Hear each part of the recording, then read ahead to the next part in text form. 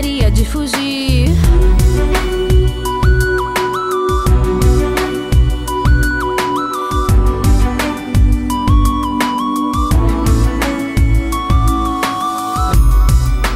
Não aguento mais suportar essa pressão.